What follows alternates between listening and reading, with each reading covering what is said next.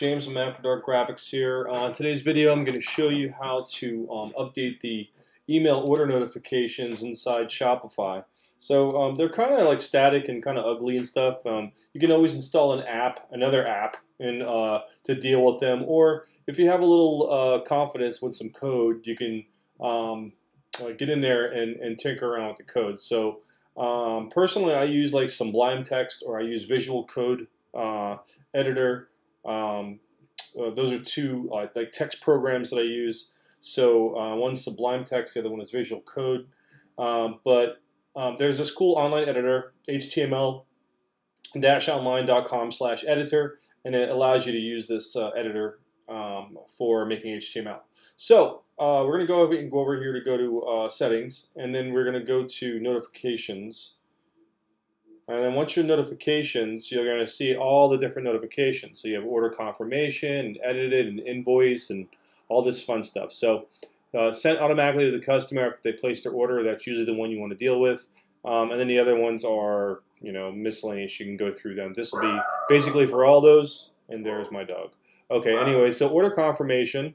If you click on that, you have order and then name confirm. So that's the e email subject. So you can change that to whatever you want to change that to. So you always want to uh, copy and save um, this stuff to um, a text editor that you have. So what I'll usually do is I'll just go ahead and put in here order confirmation, and then I'll put subject, just so I have the original stuff, you know, uh, and then I'll copy all this, email body, right? And then so you have all that.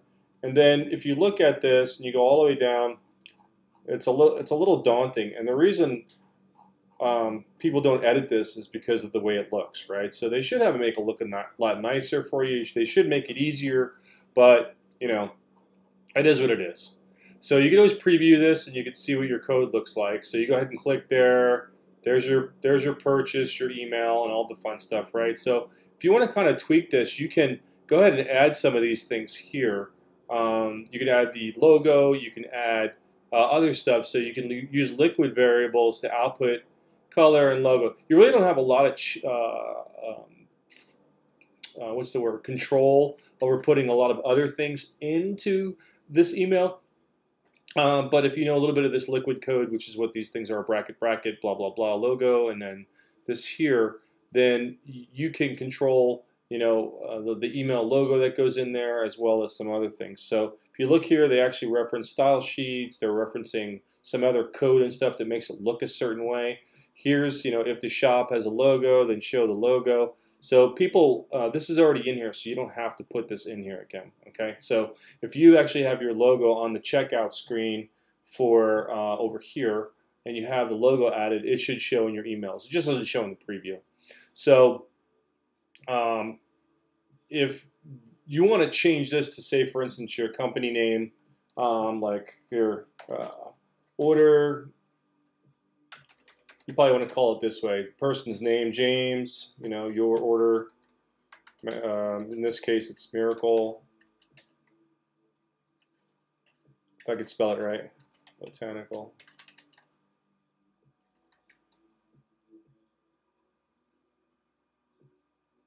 Order.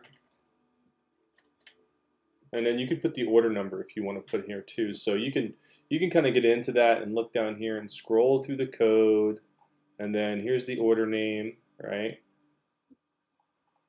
Go ahead and grab that. And you go ahead and throw that up here. And now if I, I'll save it first. I'll do a little preview. Subject, number 99, your order. So you don't have to even put it in here because they're, looks like they're pasting the actual order number in there for you. So order number, your miracle tonnage order is confirmed. So you can just get rid of that. So let's take that out.